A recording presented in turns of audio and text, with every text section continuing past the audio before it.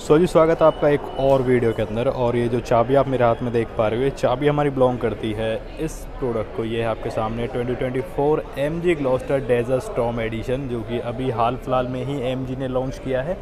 और ये इसकी टॉप एंड ट्रिम के ऊपर बेस्ड है तो इसके अंदर एडास वगैरह जैसे सारे फीचर्स आपको देखने के लिए मिलते हैं। और ये कूल सा कलर आपको अब इसके अंदर देखने के लिए मिलेगा।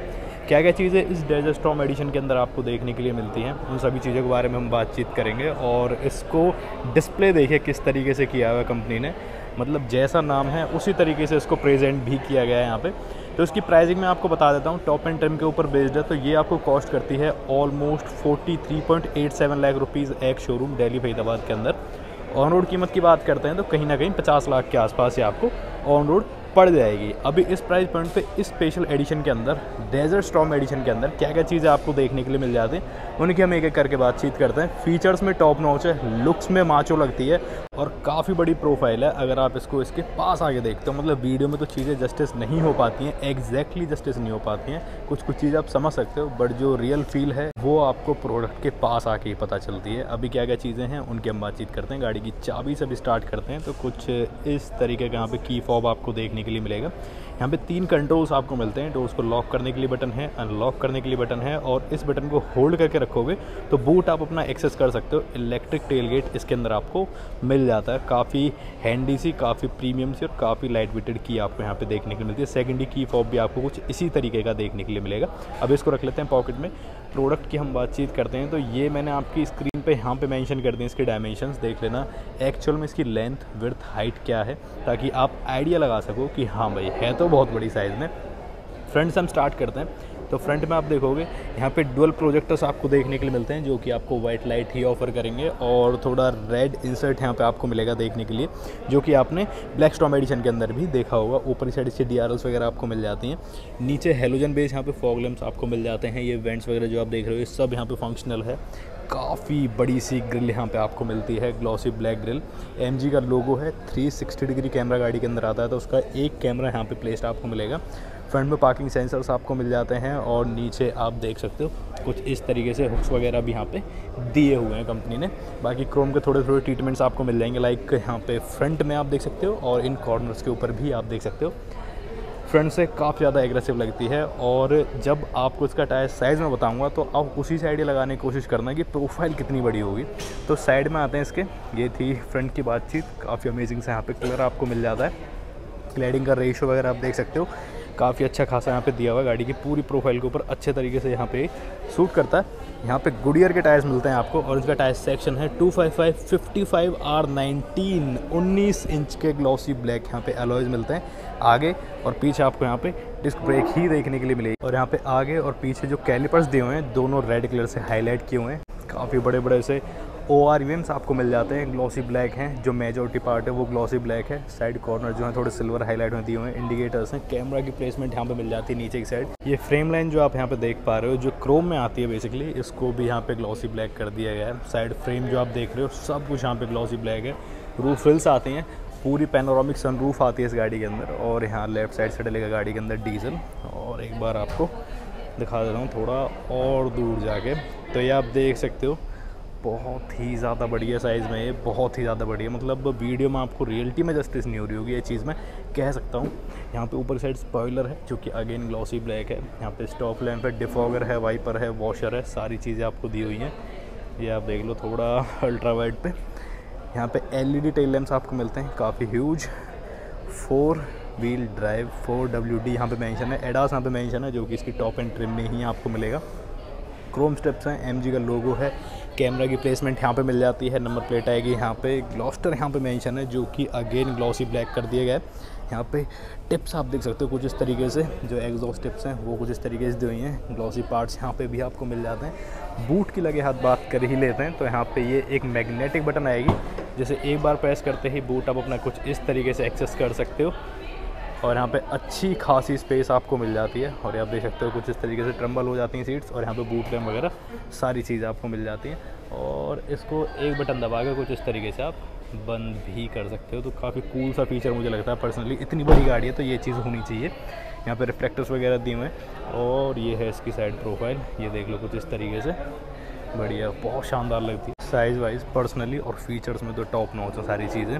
अभी गाड़ी के अंदर चलते हैं, अंदर क्या क्या चीज़ें, उनकी बातचीत करते हैं एक एक करके और यहाँ पे आप देख सकते हो, ये पेड लेम्स भी आपको मिल जाते हैं। और अभी चलते हैं गाड़ी के इंटीरियर में। तो ये लो जी। काफ़ी स्मूथली खुल जाते हैं डोर पैनल्स और ये आप देख सकते हो डोर पैनल कुछ इस तरीके से हैं। सारी चीज़ें एकदम ब्लैक आउट हुई हैं यहाँ पे। अपॉल्स्ट्री प्लास्टिक एंड ऑल सारी चीज़ें यहाँ पे एकदम ब्लैक हैं। तो काफ़ी जो एक रगड़ सी लुक आती है, काफ़ी एकदम डार्क माफ़ी टाइप जो लुक आती है, वो यहाँ पर आपको मिलती है। और एक अच्छी वैब देती है। अगर आपको ब्लैक इंटीरियर्स पसंद है तो एक नज़र में पसंद आ जाएगी आपको ये चीज़। बाकी डोर पैनल्स की यहाँ पे बातचीत करें तो यहाँ पे अगेन ये सब कुछ यहाँ पे सॉफ्ट टच दिया हुआ है। प्रॉपर ये लेदर है, जितना भी आप देख पा रहे हो, ये ट्रिम्स जो है मल्टीपल शेड्स में आपको मिलती हैं। डोर लिवर्स चारों पार विंडोज़ विंडोज़ के लॉक डोर्स के लॉक यहाँ पे मिल जाते हैं। स्पीकर है बोटल होल्डर है, और यहाँ पे आप देखोगे तो अपने फ्यूलिड खोलने के लिए अलग से एक बटन दी हुई है कुछ इस तरीके से। यहाँ पे मॉरस गराजेस के इसका प्लेट्स हैं एम जी यहाँ पर मैंशन है। और यहाँ पे इलेक्ट्रिकल एडजस्टमेंट के साथ मिलती है डाइवर सीट यहाँ पे दो मेमोरी सीट्स के फ़ंक्शन मिल जाते हैं आपको और ये लंबर सपोर्ट के साथ आएगी और ये आप देख भी सकते हो काफ़ी कुशनी सीट्स हैं और साइज़ में भी काफ़ी ह्यूज हैं। ये आप देख सकते हो ऊपर से नीचे तक कुछ इस तरीके से। मतलब नाइस एकदम मज़ा आ जाएगा आपको। ये देखना फाइन है सारी चीज़ें। और यहाँ पे दिखाता हूँ आपको कुछ चीज़ें। लाइक यहाँ पे आप देख सकते हो लाइट लेवलिंग डायल है। इस क्लस्टर की इल्यूमिनेशन कम ज़्यादा करने के लिए प्रॉपर डायल दिया है और यहाँ पे ओ आर के इलेक्ट्रिक कंट्रोल्स हैं और ए सी वेंट्स के ऊपर भी जो सेट एंड फिनिश दी हुई है, बहुत प्यारी लगती है। ऊपर की साइड से सब कुछ यहाँ पे सॉफ्ट टच है। इसकी बात करेंगे जब अंदर चलेंगे, यहाँ पे थोड़ी स्पेस आपको मिल जाती है और नीचे की साइड यहाँ पे बोनट खोलने का लेवर आपको मिल जाता है। दो पेडल्स हैं और डेड पेडल के लिए यहाँ पे प्रॉपर प्लेसमेंट दी हुई है। अभी चलते हैं इसके इंटीरियर में और इंटीरियर में क्या क्या चीज़ें उनकी हम बातचीत करते हैं। काफ़ी सॉलिड सी यहाँ पे थर्ड आती है और ये अभी मैं आपको ऑन करके दिखा देता हूँ। तो पहली चीज़ तो आप ये इंटरफेस वगैरह देखो लेआउट्स देखो वन एक्स पे आपको दिखाता हूँ अल्ट्रा वाइड में शायद आपको समझना है चीज़ें। ये आप देखो कुछ इस तरीके से काफ़ी चीज़ें ऐसी हैं जो मतलब आपको देखते ही प्यार हो जाएगा। मतलब इंटीरियर तो सुपर लग्जरी लगता है इस गाड़ी का। बाकी यहाँ पे इंजन स्टार्ट स्टॉप बटन आती है, जैसे मैं एक बार ऐसे प्रेस कर दूँगा। तो ये सब कुछ यहाँ पे ऑन हो जाता है। इसके अंदर भी देख लो, कुछ इस तरीके से वेलकम फीचर आता है। जब भी आप ये स्विच ऑफ़ करोगे इग्निशन ऑफ़ करोगे सीट ऑटोमेटिकली पीछे चली जाती है। और जब ऑन करोगे गाड़ी को तो आपकी सेट की हुई पोजीशन पे ऑटोमेटिकली आ जाती है। तो ये चीज़ें हैं। अभी मैं स्टेयरिंग को तो नहीं छेड़ूँगा, क्योंकि ये जिस एंगल में खड़ी की हुई है, थोड़ा डिस्प्ले के लिए तो ये यहाँ पे ही रहेगा। बाकी यहाँ पे आपको दिखा देता हूँ मैं। ये आप देख लो कुछ इस तरीके से। ये कुछ चीज़ें ऐसी हैं, यहाँ पे 220 की टॉप स्पीड मार्किंग दी हुई है 6000 तक की यहाँ पे आरपीएम है। बीच में ये काफ़ी बड़ी सी डिस्प्ले मिलती है, जिसमें गाड़ी से रिलेटेड जितनी भी इंफॉर्मेशन है, वो सब आपको डिजिटल फॉर्म में ही मिलेंगी। लाइक कितने किलोमीटर गाड़ी चली है टाइम क्या है आउटसाइड टेम्परेचर क्या है, और फ्यूल टेम्परेचर और एडास जितने रिलेटेड कंट्रोल्स हैं, वो सब आपको यहाँ दिखते रहेंगे। और हाँ स्टेयरिंग की बातचीत करें तो फुल्ली लेदर रैप एक स्टेयरिंग व्हील आपको मिलता है, काफ़ी हैंडी सा, काफ़ी स्पोर्टी सा, नीचे से फ्लैट बॉटम भी है। इधर की साइड आप देखो तो क्रूज़ कंट्रोल से रिलेटेड जितने कंट्रोल्स हैं, वो आपको मिल जाते हैं। यहाँ पर अपने मीडिया के कंट्रोल्स आपको मिल जाते हैं। पैडल शिफ्टर्स आते हैं, ये माइनस का है, ये प्लस का है। इसकी एडजस्टमेंट की बात करें तो ये आपको टिल्ट एंड टेलीस्कोपिक दोनों ऑप्शंस के साथ मिलेगा। ये भी एक अच्छी चीज़ यहाँ पे मुझे लगी।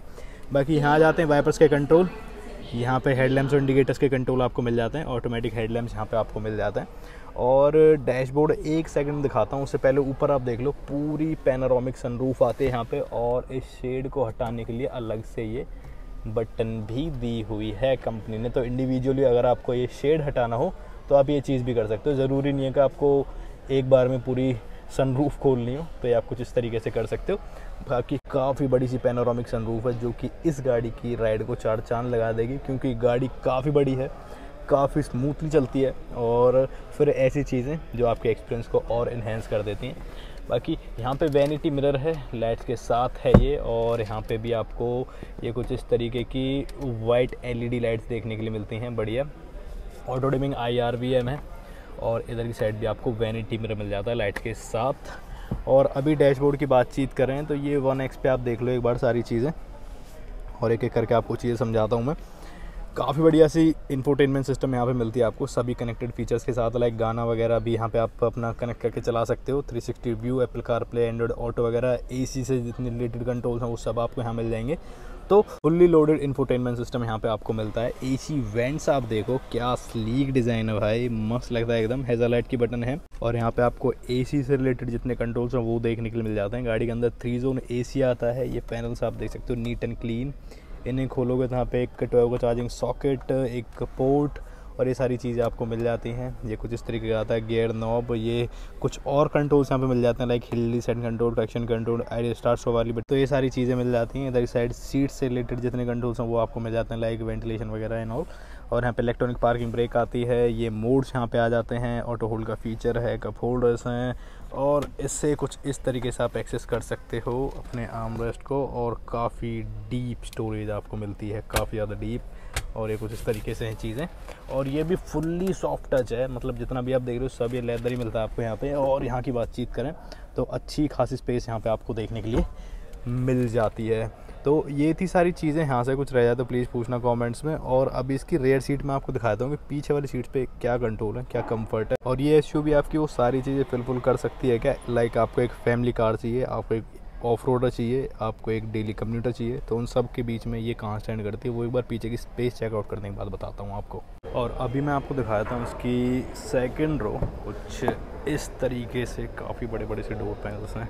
मज़ा ही आ जाएगा जब भी आप मतलब खोलोगे तो आपको एक जो फील है, वो डेफिनेटली ये देंगे। यहाँ पे भी अगेन सॉफ्ट टच है, ये सब कुछ यहाँ पे लेदर है, ये शेड्स आप देख सकते हो door lever power window speaker bottle holder इसका प्लेट्स और ये सीट सिक्सटी फोर्टी के ऑप्शन के साथ यहाँ पे मिलती हैं। सेवन सीटर है, सिक्स सीटर का ऑप्शन भी आपको मिल जाएगा। तो ये चीज़ कुछ इस तरीके से है। अपोल्स्ट्री आप देख सकते हो, नीट एंड क्लीन एकदम, काफ़ी ज़्यादा फाइन मतलब कोई सिंगल रिंकल आपको नहीं मिलेगा सीट्स के ऊपर। और ये सीट को ट्रम्बल करने के लिए दी हुई है एक लिवर। यहाँ पे आइसोफिक्स, चार सीट माउंट्स भी आपको मिल जाते हैं। यहाँ पे पॉकेट्स मिलती हैं दोनों ही सीट्स पे और क्रैब हैंडल्स हैं, सनरूफ है, रूफ माउंटेड एसी वेंट्स वगैरह आपको मिल जाते हैं। और यहाँ पे जो एसी आता है थर्ड रो के लिए, उसके अलग से कंट्रोल्स दिए हुए हैं। अभी अंदर ही चलते हैं और अंदर चल के मैं आपको चीज़ दिखाता हूँ एक बार कि किस तरीके से हैं चीज़ें। तो जी, ये कुछ इस तरीके से एसी के कंट्रोल्स दिए हुए हैं। और यहाँ पे आप देखोगे तो एक ट्वेल्व को चार्जिंग सॉकेट है और एक यूएसबी पोर्ट आपको एक्स्ट्रा मिल जाता है। स्पेस वगैरह यहाँ पे मिल जाती है। पॉकेट्स दोनों ही सीट्स पे मिल जाती हैं।